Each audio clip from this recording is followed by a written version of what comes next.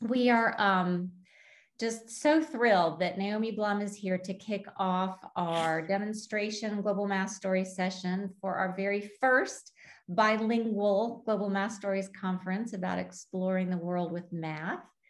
And um, excuse me if I pause, I'm letting people in um, as I talk. So, um, Naomi, just a little bit about Naomi. Naomi is a former middle school science teacher who has led professional development for math educators.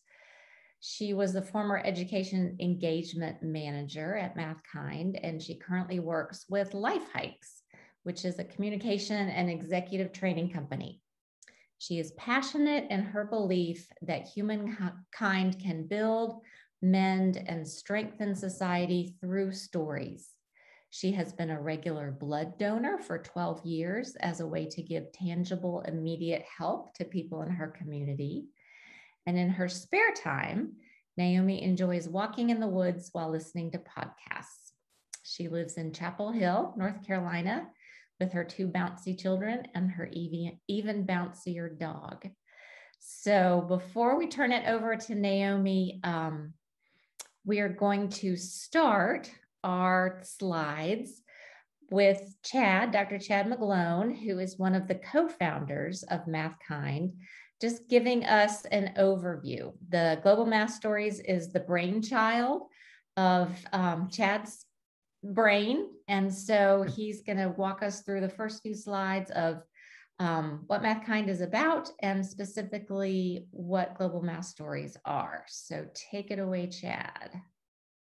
Thank you. And Jenny, you are also one of the creators of Global Math Story. We would not have even done this if you hadn't helped direct some great ideas on the trip to Michigan one year. Naomi, can you advance to the next slide, please? I think it's happening. Maybe. Yes. There. All right, great. Well, so um, Global Math Stories, I mean, MathKind is an organization that really works with educators around the world, both in the US and, and around the world, sort of to help teachers, to provide teachers tools to teach differently in the mathematics classroom so that students are the center of the instruction, so that they're encouraged to be real thinkers in the classroom and, and one way we do that is by helping them make global connections, helping teachers make global connections in the classroom. Class comes alive if I talk about goats that climb trees in Morocco or the Jaglavok in Cameroon or the rabbit proof fence in Australia or the shepherd's leap, something you'll learn about and hopefully not practice um, tonight. So um, what we've done is we've created these little one-page stories. They're intended for teachers to, to be able to read and be inspired by. So you can you change to the next slide? So you see the dots, each one represents a story. Each, each story has a, a, lot of things. I mean, there's basically one page about what life is like in different parts of the world. You'll see an example of that, really a single story expanded um, so that you can have lots of different entry points. Uh, the stories themselves, if you go to the website, you'll see learning activities, sometimes full lessons, for sure, some basic questions about mathematics that you might find in the story or that might be related to it. In addition to that, there are social justice questions, things that will really challenge children to think deeply, even adults, to be honest. Um, and then finally, there are some slide presentations. For instance, the slide presentation you'll see tonight almost certainly will be connected to one of the stories. And when you're teaching your class, you can choose the slides that work for the lesson that you're teaching. Naomi's going to spend an, you know, an hour talking about um, the shepherd's leap. You're not going to spend an hour in the class so that you can do a math activity. You might choose only five slides just to set the scene and also motivate the students to do some more work on their own. So with that, I'm going to let Naomi teach us all a lot more about the Canary Islands. Thanks, Chad and Jenny. One of the benefits that I love doing, now I have two big screens here. I want this to be interactive. You can use the chat. I will try to answer questions on the spot. no problem if you want to raise your hand. I want this to be interactive because stories come alive when people are taking an active role in this. In the classroom, as well as any presentation, any meeting, people aren't really there until you ask them to participate. If I can do a quick body poll, what do you already know about global math stories? Zero means I just kind of logged in right now and I'm not sure. 10 is I've already written my own global math story. So I'm going to ask Jenny to read our poll here. When I say go, hold up your fingers. What do you already know about global math stories? Ready? Go. Jenny, what do we have here? We have a little bit of everything, but we have Perfect. some definite some definite newbies, which is fabulous it is great to have newbies.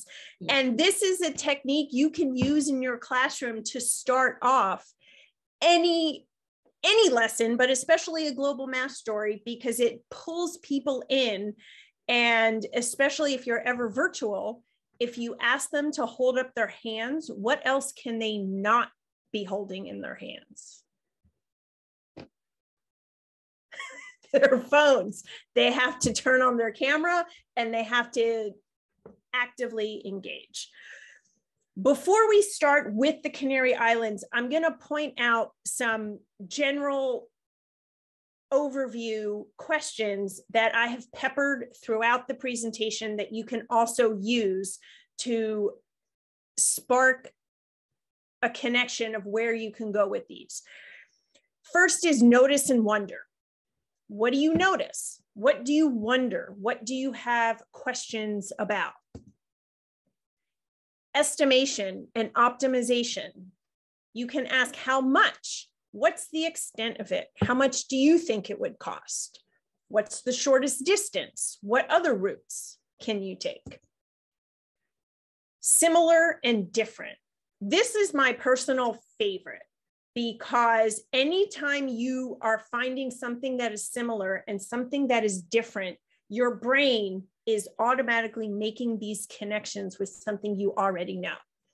What do they have in common? Which one doesn't belong?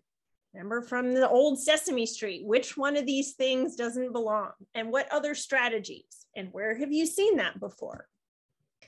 The last one is math and social justice, which is part of the core of math kind where thanks susan and heather where can you incorporate the social connection connection and the justice connection? I gotta move you all over here to read. Okay. What other decisions can be made and what consequences does each decision have and what can you do with? Now we will get into the Canary Islands and the Shepherd's Leap. I will ask either you can come off mute or put it in the chat. Has anyone ever been to the Canary Islands? Nobody has been. One of my first, and Chad and Jenny were joking about this before we logged on is my name is now synonymous with a rabbit hole.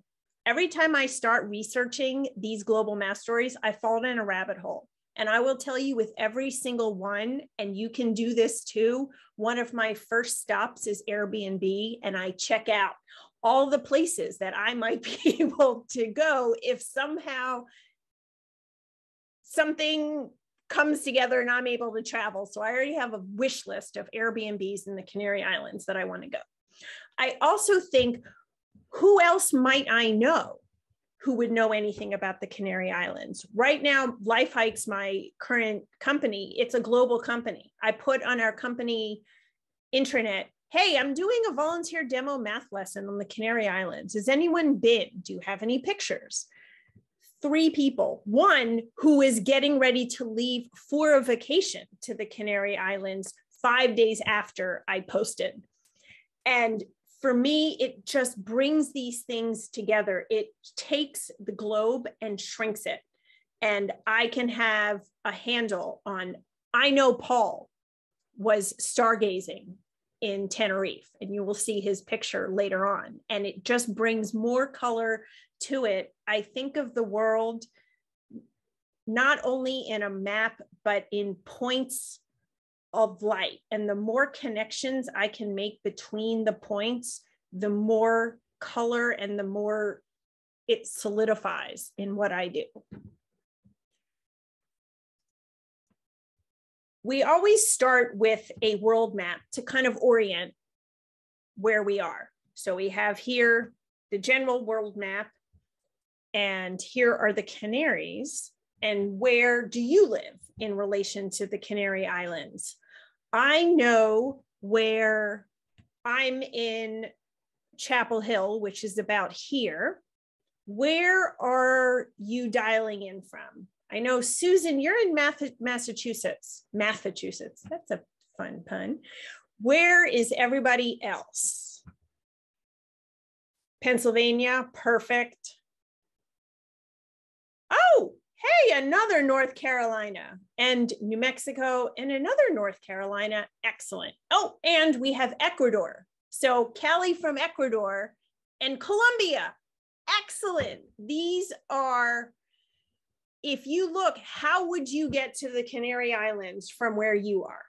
Is it close? Is it far? Would you take a plane? Could you take a boat?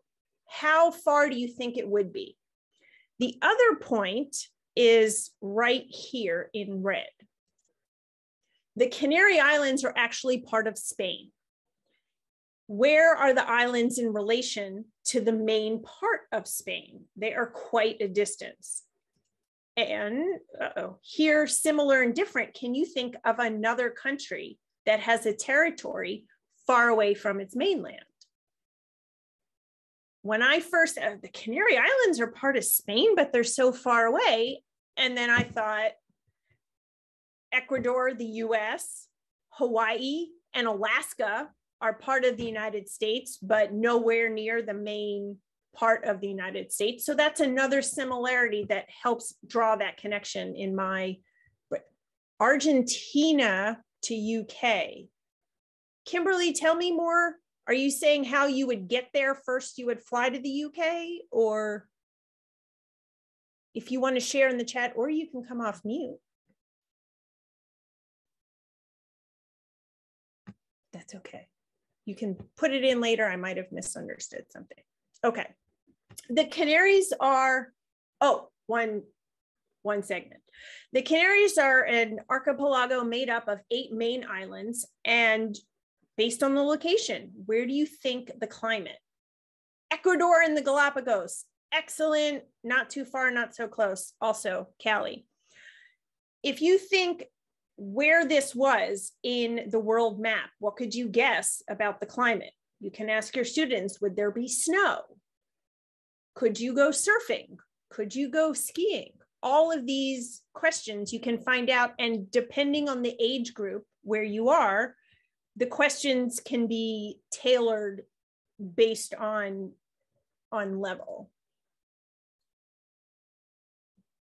Another estimation and op estimating and optimization, which island has the largest area? Which island has the smallest area?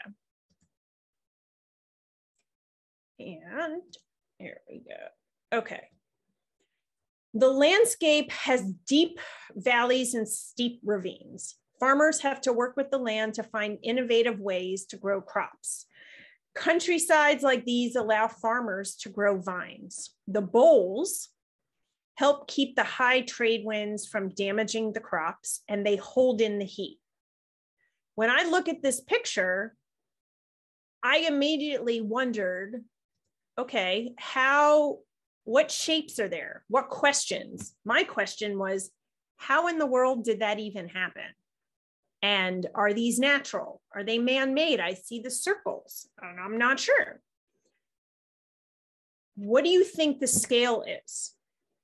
What could fit in one of the bowls? If I can find a person, would a person be where would the person fit in this in this picture. Something how many are there? How much area? Thank you. Yes susan absolutely. And for teachers who are not bound by the same copyright restrictions as we are this will be a lot easier if you ever wanted to take a deep dive and find pictures. Make sure to always check what the copyright laws are you might have more latitude if you're an educator if you're an educator and it just makes preparing for these a little bit easier. I always love to give a timeline a basic history of where this lands as far as human history in about 1000 BC, the African settlers arrived. It's believed that they're related to the Berber people. They actually traced genetics back and found there was a genetic link between the Berber people. And incidentally, I will also be pointing this out. The Berber people are discussed in the Morocco global math story as well. And they are the indigenous people, and they were the Guanches. My pronunciation, I will apologize. I always do. I will not get it right. And I mean, no disrespect. I am just terrible. I have no ear. Then in about 100, Plutarch and I, Ptolemy, they were Roman writers, and they give credit to King Juba II as having discovered the islands. 1402 now begins the Castilian uh, colonization. Spain conquered the islands and it was brutal and it was violent because the indigenous people fought back. Between this, you have La Palma, which is the volcano, and it's the earliest recorded volcano eruption on the islands, which will come into play later in the story this part with the enslaved people was fascinating. And this is why you always, and I tell my children who are 13 and 16, you always have to check multiple sources and you always want to make sure you are providing a as full a picture as you can needing a large uh, labor force the spanish not only enslaved the indigenous population since it was located close to Africa, they forced people from North Africa into slavery. This instance later set the stage for the transatlantic slave trade that went throughout the world. It's Christopher Columbus actually stopped at the Canary Islands on his way before he went to the Americas. This was the last stop in the ocean before he continued on. It played a role in the Spanish American War because remember, the Canaries are part of Spain. The Spanish fortified the Canaries in case there was an attack. It never happened, but they prepared. Then in the 1800s and 1900s, there were mass departures due to the competition from the Caribbean islands, the sugar industry, which is one of their main industries, it suffered. And a lot of the native Canary Islanders migrated to the Americas. They were instrumental in some Texas communities and New Orleans and Cuba and I think Venezuela was the one of the other ones here's the big question that always got how did the Canary Islands get their name? If I, what is the first image that pops into your head? Yes, the canary bird. Absolutely. The canary bird is actually named after the islands. It is not the other way around. There's a, I couldn't even include this in one of my rabbit holes because it really took me down deep. There's a fascinating story behind canary bird breeding that has to do with the English nobility and the upper class who wanted songbirds to keep as pets. Take yourself down a rabbit hole for that one. It is very fascinating, but I couldn't include it or we would be here for three hours, which I wouldn't mind. But it's actually it, from Latin, meaning island of the dogs. It's believed because, again, there are conflicting reports and theories with what actually happened. According to Pliny the Elder, the main island had a large population of very big dogs. And this was the line in almost all of the sources that I checked until I found one that the dogs might not have been these big canines, but they were sea dogs, which were giant seals.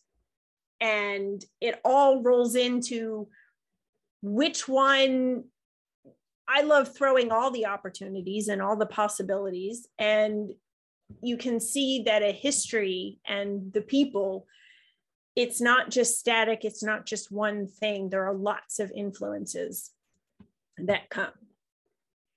Do you know how to whistle? Who knows how to whistle? I will refrain from the Marilyn Monroe. Okay. Why do people no, I, I am really not good at whistling at all. Whistling is meant to mimic speech sounds and pitches. Why would somebody whistle? You can put in your in the chat. What are why do people whistle? What are the what's the purpose?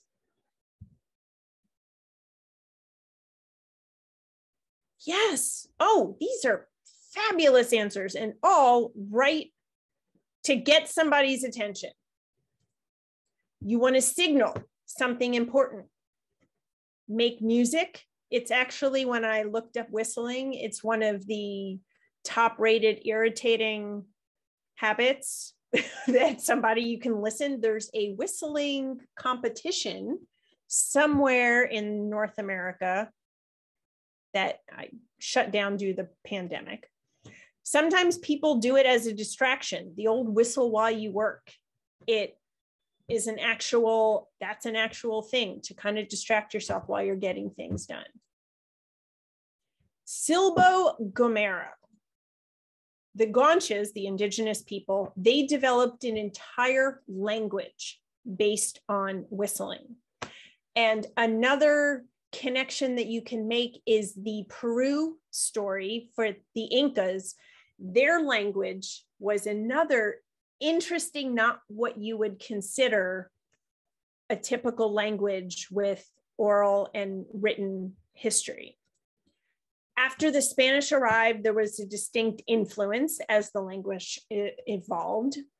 There are two distinct whistles that replace vowels and four whistles to replace consonants. Again, copyright, I'm limited, there are videos that you can watch of how these whistles and where they it's very distinctive in in how they construct it.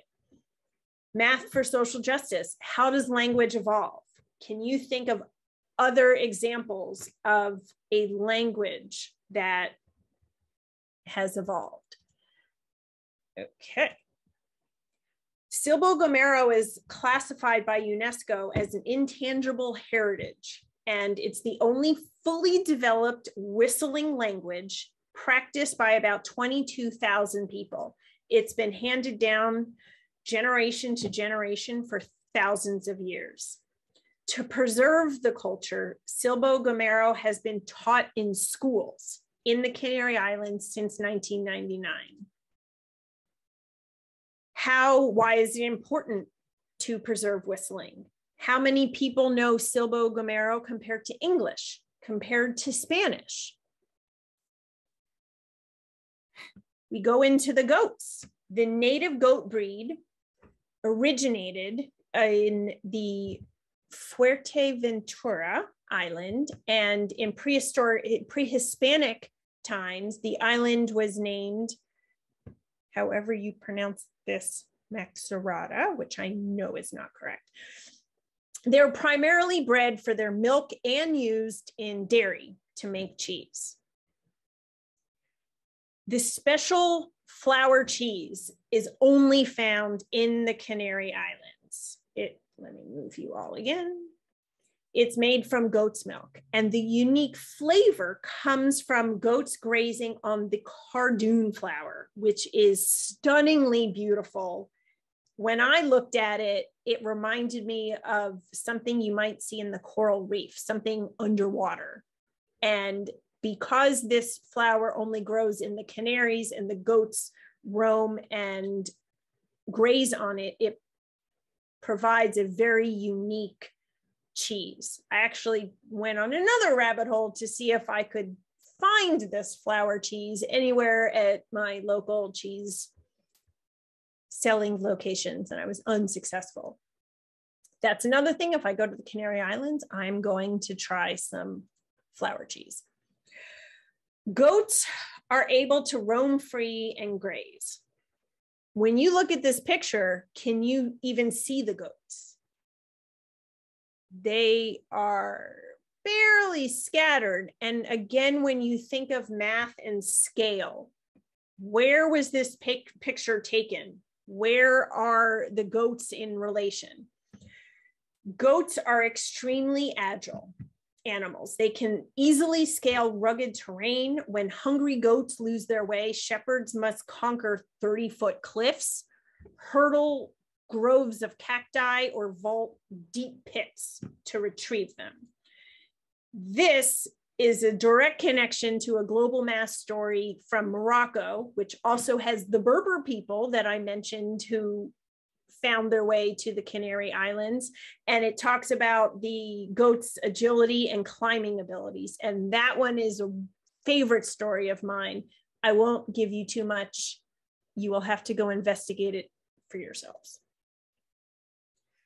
Distance and rugged terrain. The shepherds developed a method that allows them to travel across the land and still maneuver the uneven surfaces and boulders. How would you do it? This is something I love in the global math story is I throw it out to the kids. How would you do it? And the things they come up with are fascinating because their minds are in a completely different developmental space and they will think of out of this world ideas.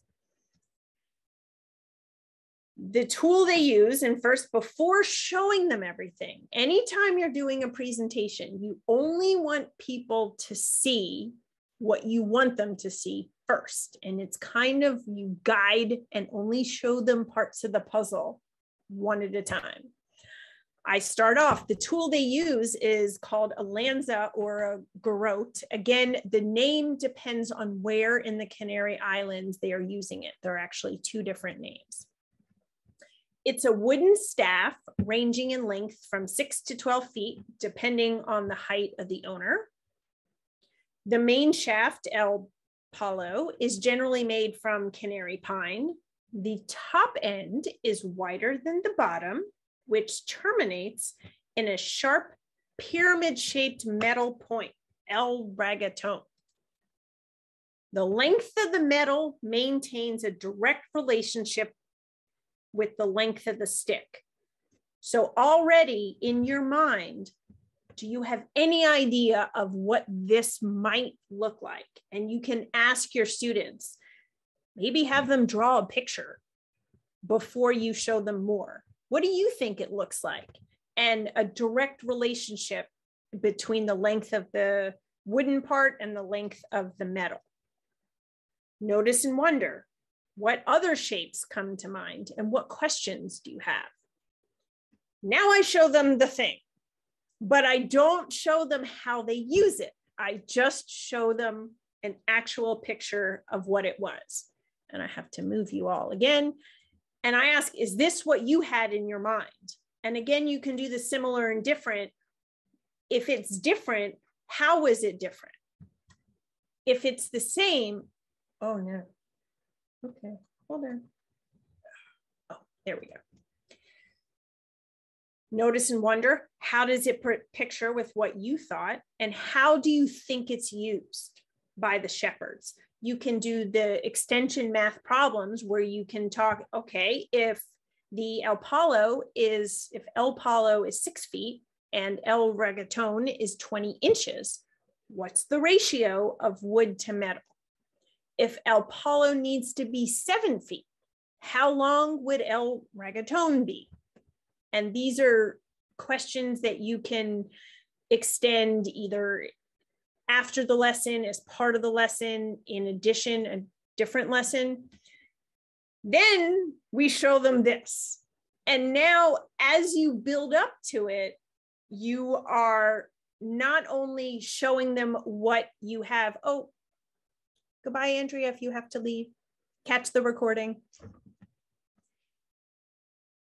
They now have their own ideas before showing what they use because humans around the world are fascinating. And it's amazing how a lot come up with similar ideas and another podcast that I was listening to while walking in the woods talks about a concept where humans who develop a way in different cultures have different ideas and inventions. If you go back to the Incas with the global math story, the Incas, they made Machu Picchu, they didn't have a wheel. They developed and their civilization and their culture developed, they didn't have the concept of a wheel when they made Machu Picchu.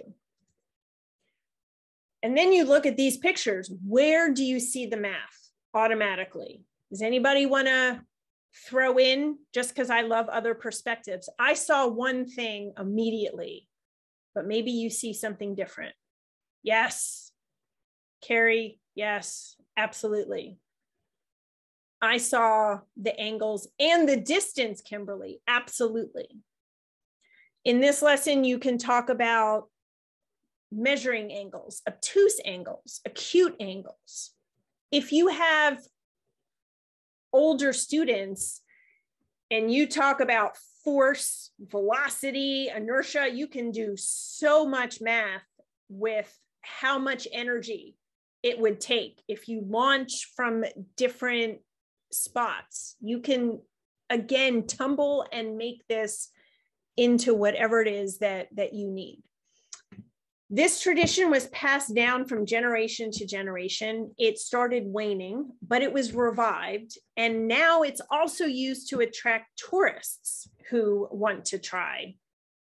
Again, there's some really interesting pictures that, if you are not bound by copyright, you can definitely include. They are really interesting. In addition to herding sheep, sometimes it was used in combat over territory, which some of your students might point out as soon as somebody hears about a sharp metal point, they will say, Ooh, I bet you could nail somebody with that one. Pole vaulting, absolutely pole vaulting.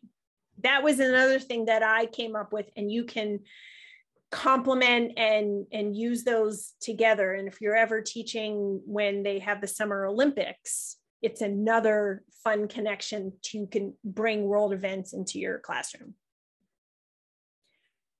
The Global Math Story from Sri Lanka discover, uh, discusses preserving culture by allowing tourists to share in the experience. And from a social justice question, it's a very important question to ask.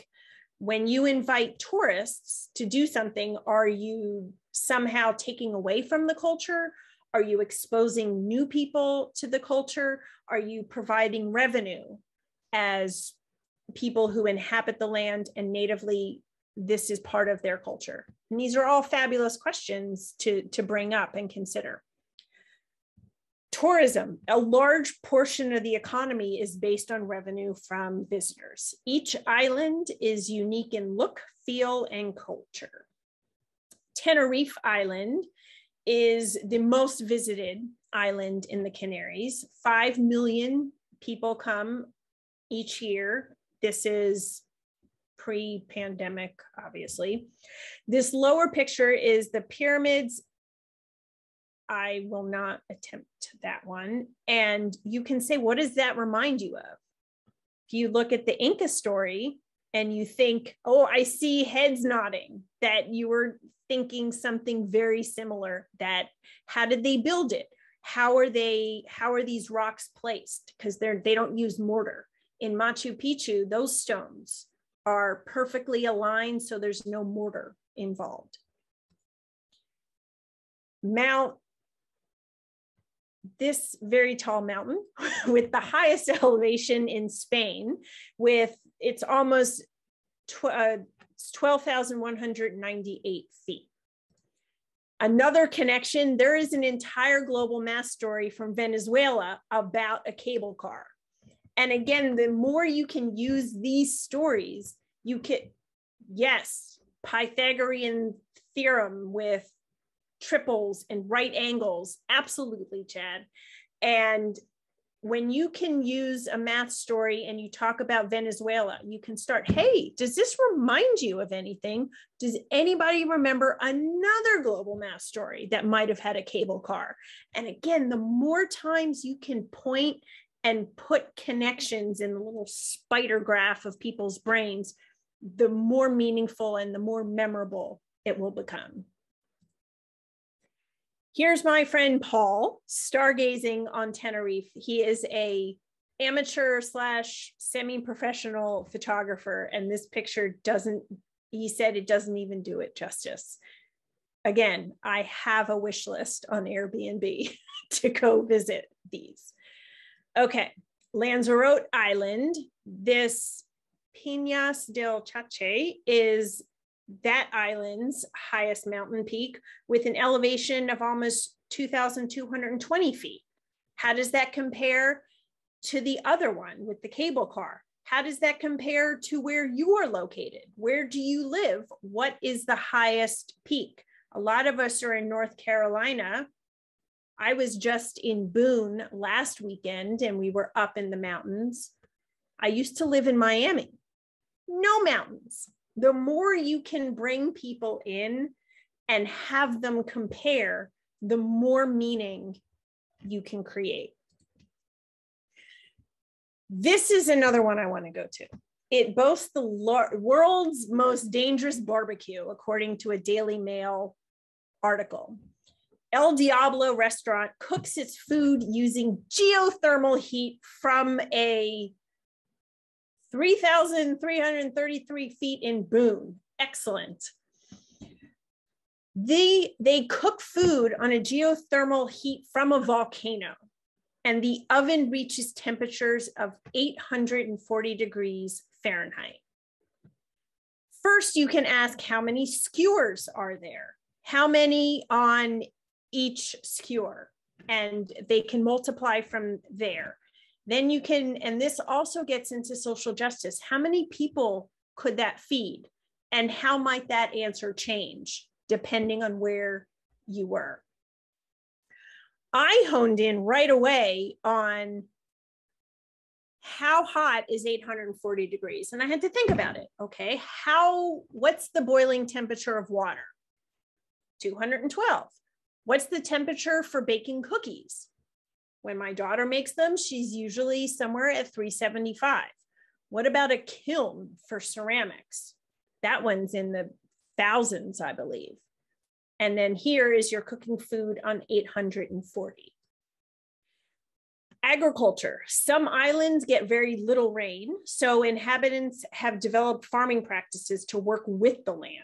They use the ravines to block harsh winds and control sunlight. They use a volcanic derived mulch that keeps in moisture.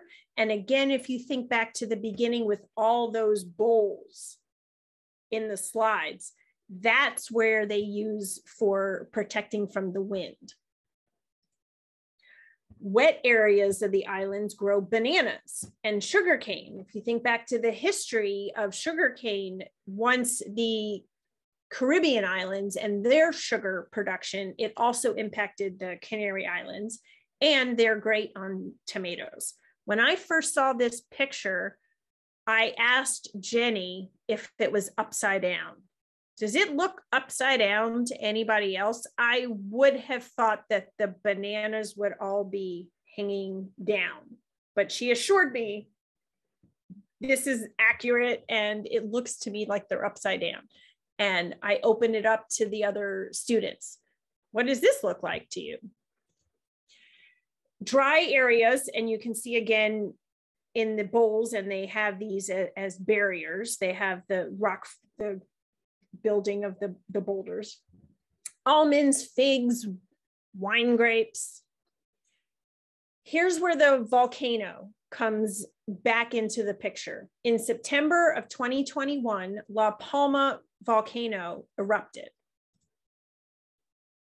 This satellite image of the volcano was taken on October 10th, 2021. Spain did not officially declare the eruption finished until December 25th, 2021. So first you can look at the picture and ask, how far did the lava flow? How much was affected? What do you think?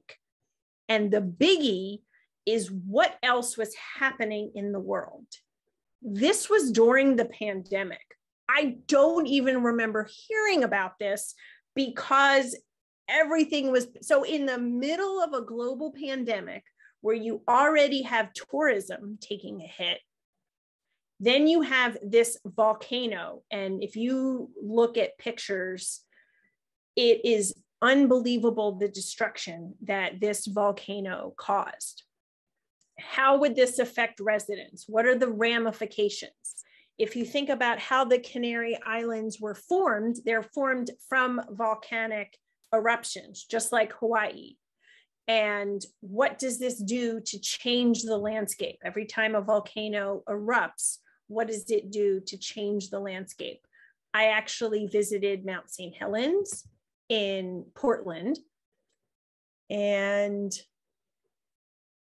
this is how they grow. It's very curious.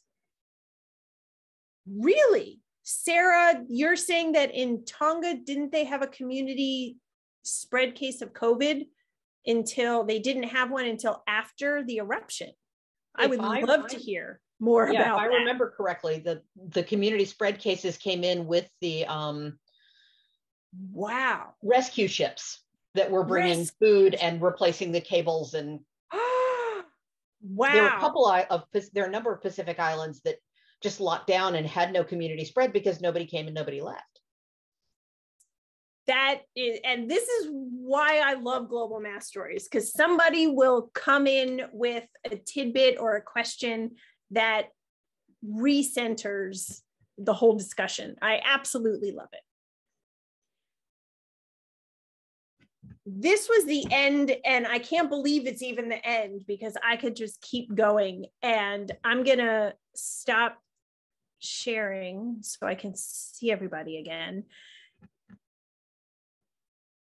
Callie with a two, oh, yes, there was a tsunami recording with the eruption in Tonga. Callie, you had to evacuate for a few hours. That's interesting. And that, in another global math story with the Maldives, deals with a tsunami and the effects. It's all coming together, all these little pieces of the puzzle. And these, in the website for MathKind, a lot of the stories, some of them will have these fleshed out presentations. Some of them have the, the one page, and I encourage anybody to fall down a rabbit hole.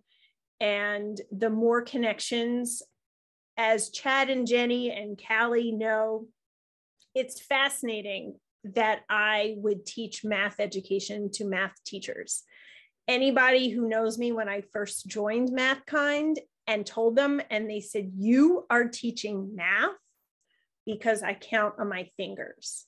If I would have had the opportunity to learn math using these innovative methods with this type of application, who knows where I would be. I depend on my 13 year old son to calculate things for me. I scream down the stairs and ask him questions. He actually helped me out with the ratio for the Lanza when I said I asked him what's the what's the ratio? If I measured on my computer screen that the wooden part was four inches and the metal part was this many inches how does that translate into feet? And he just in two seconds spit an answer back.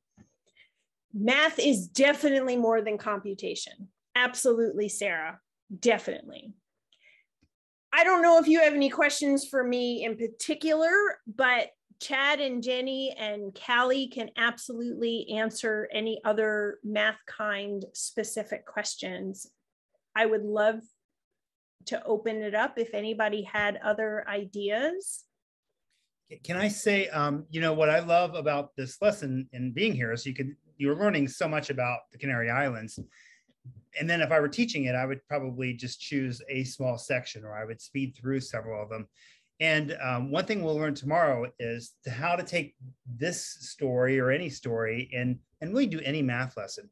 So when Naomi started talking about the food, now we have recipes we could talk about, um, or you can we, there's integers, right? And it, it really is you choose the topic based on what you're teaching, and then the support story can support that. That's one we'll, thing we'll talk about. But Naomi sort of sets the stage here with this great PowerPoint presentation.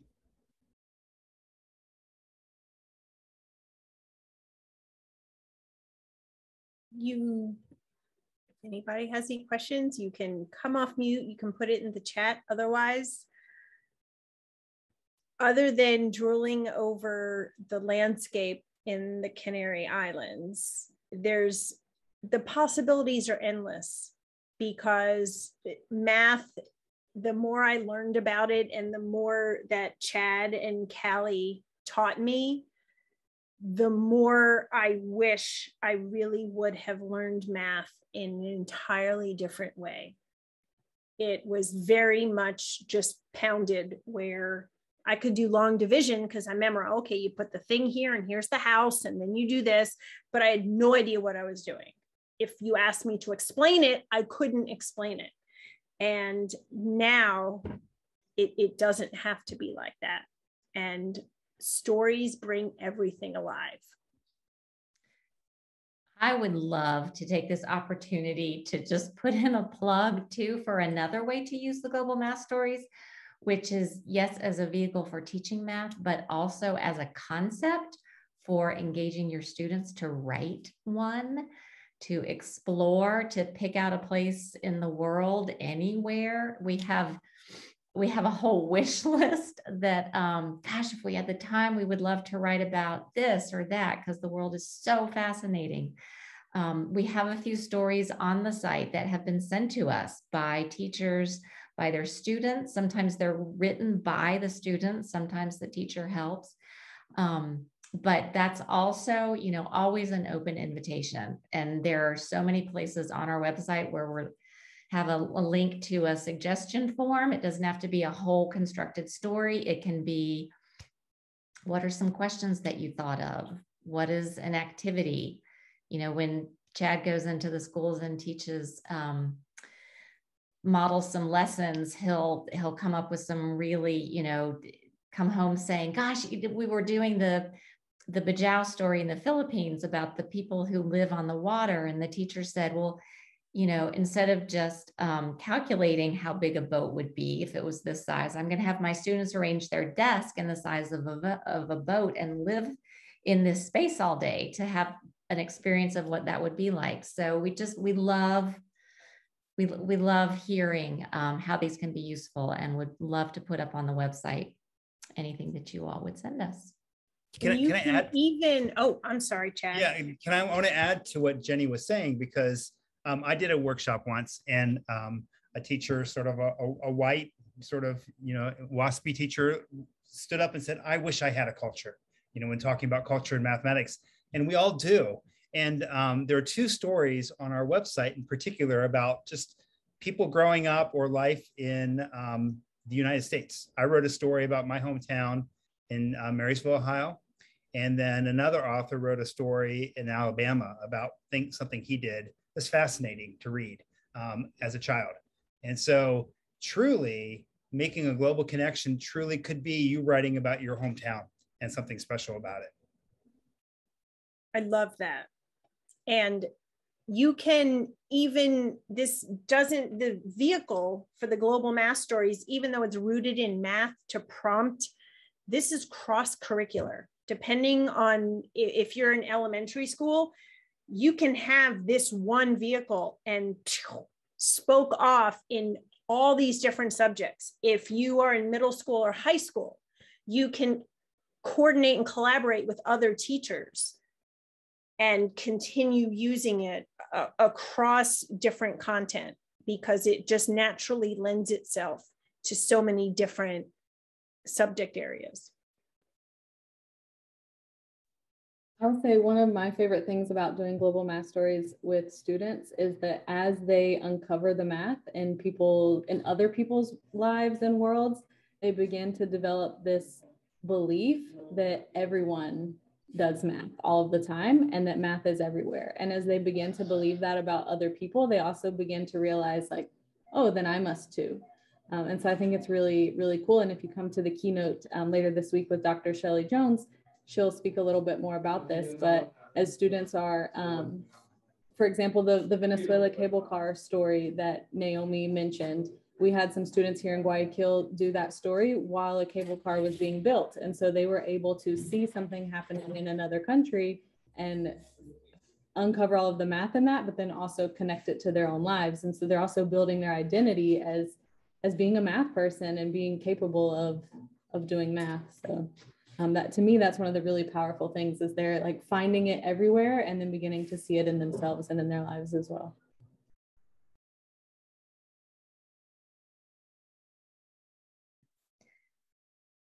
I think we might be finished.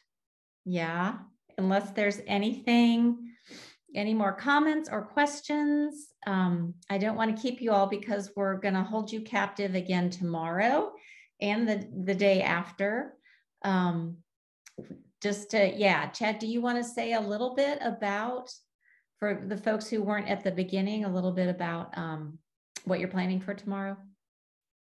Yeah, for tomorrow, what what I want to do is just sort of use today as a, as a jumping off point and to dig into the stories a little bit more, to have people maybe choose a story that's interesting to you, and then to talk about how to just make make that connection. If I'm teaching fractions, how can I turn the story that you've chosen into a fraction story? We have lessons that are written for a fractions lesson, but I think that could be done with any story. Same for integers. I used a rabbit proof fence to teach integers because there's a city near where the rabbit proof fence is, and you build buildings that have above ground and below ground spaces. So there we go. We could do integers.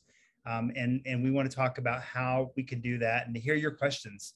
You know, how can I make this how can you make this happen easily in your classroom or help others to do so? So that's what tomorrow will be about. thank you all so much. And um, just so grateful, so grateful that you all are here and interested in this. Thank you, Naomi, for walking us through a fascinating story. I've got to taste flower cheese before I die. That is like now Yes. It's also dinner time, so I'm a little hungry. But um, yeah, that was so fun. And it was great to see you all. And we hope to see you again tomorrow night. All right. Thank, Thank you. you. Bye bye.